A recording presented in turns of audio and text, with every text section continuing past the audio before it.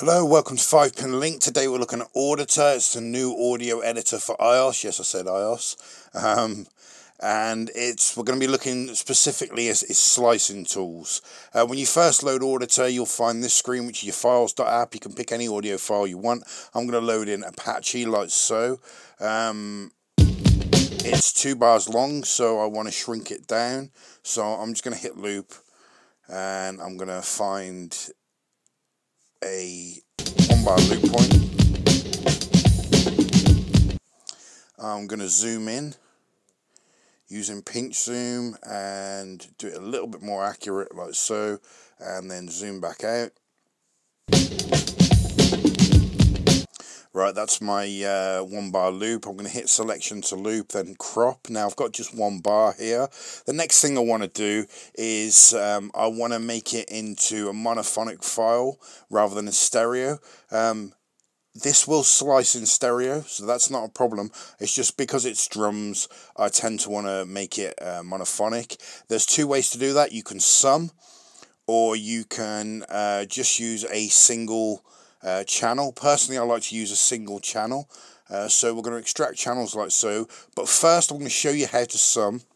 Uh, the way I've found to do it anyway, I haven't looked at the manual, there might be an easier way to do this, but once you've extracted your, your two channels, you open up your channel controls here like so, um, double click to put them both in the center, like that, uh, close that back up, and then we'll go to more and bounce, and it's automatically bounced that down to a monophonic file at the bottom. So you just select your regions and delete your regions like so and now you've got a summed monophonic version of your original file. Now I don't want to do that. Like I said personally I like to use a single channel um, because then I haven't got any uh, drum interplay um, so we're going to extract channels again and then I'm just going to select one of the channels and delete region and now I've got a mono version um, which is just a left channel. I'm going to click on more, I'm going to hit remove DC to center the waveform as much as possible and then I'm going to hit normalize so we're using as much volume as possible.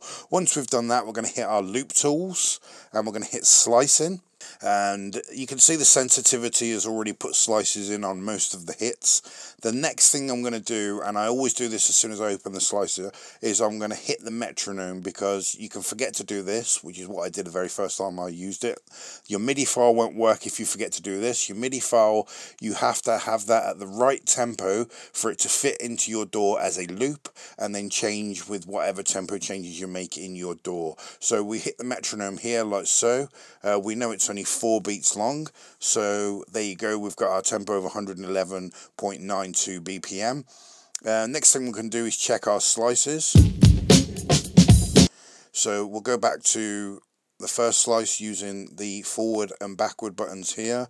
Uh, once you've got a slice selected, you can hit play the slice. As you can hear on this slice, it hasn't actually found, found both hits. Now you could turn your sensitivity up if you wanted to. Personally, I prefer to just go into manual mode and then I'm just going to drag my uh, play marker over and hit add marker. Now there's another one here as well, which I, I know because I can see it. And if we actually go back to the previous marker press play, there you can hear there's one there. Now when I move the marker there's actually snapping for the zero cross point but it's in the wrong place for, for how I want it so I'm going to zoom in and then your snapping is over overridden and I can move it to wherever I want.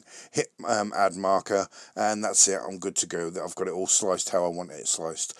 The next thing to do is to save it out now. You can save it out in a couple of different ways.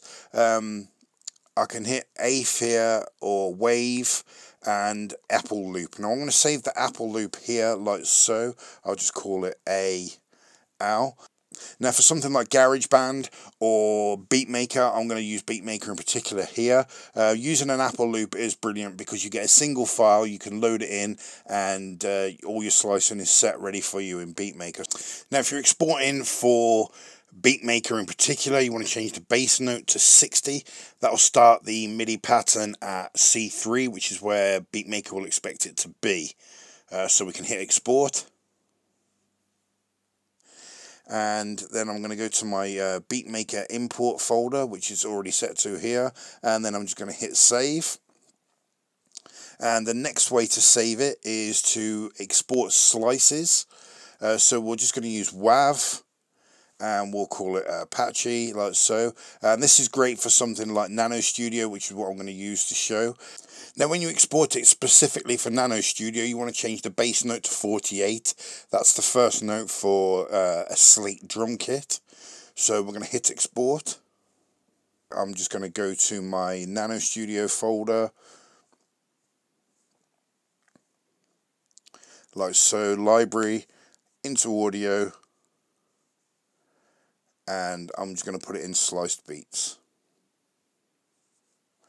Now you can press cancel on the slicer here and you can close auditor. Okay, we're in BeatMaker and what we're going to do is we're going to drag the sample in.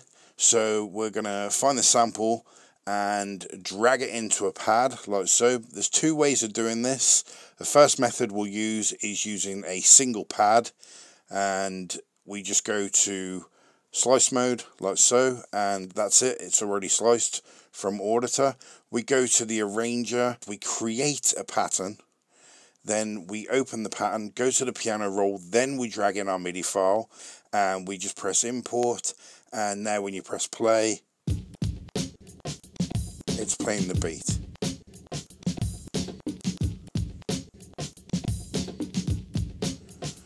And you've got all your controls uh, like your envelopes, etc., all on one one layer. That's the first way to do it, and that gives you a single pad with your beat on. Uh, the next way to do it, uh, we'll go, we'll just create a new project straight away. We'll load in the Apache file like so. We'll click on slice mode and then we'll click on save slices to pads and you can either hit create pattern here or you can use your MIDI file. So it's just as easy to create pattern.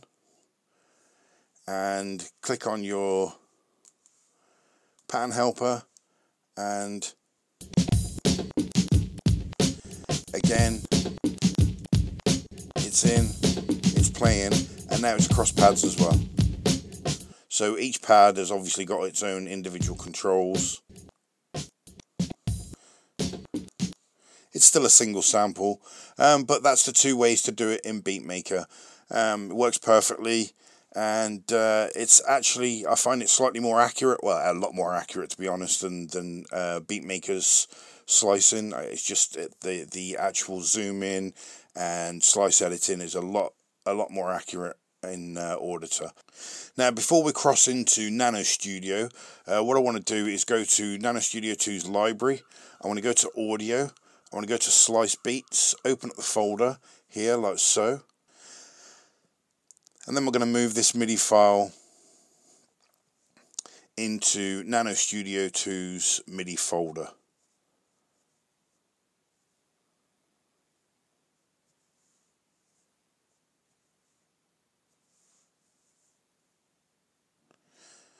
So we'll put it in there called Grooves.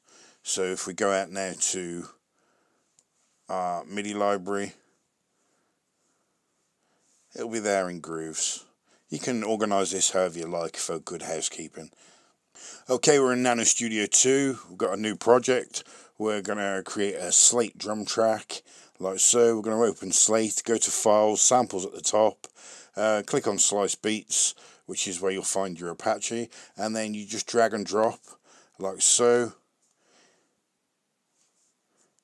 Uh, it doesn't take too long. Seems longer while I'm recording, but uh, it's just simple drag and drop, like so.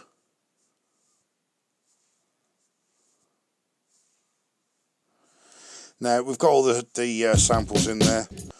The next thing we do is go to Arranger, open up our MIDI files, go into Grooves, find Apache 112, and we're just going to drag this up to the slate track merge to a single part like so import and we can close our MIDI files bring our MIDI over into place and that's it all in, loaded perfectly.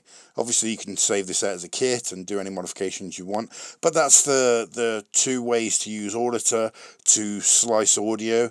Um, I've used Beatmaker and Nano Studio, but obviously you can import into all kinds of software.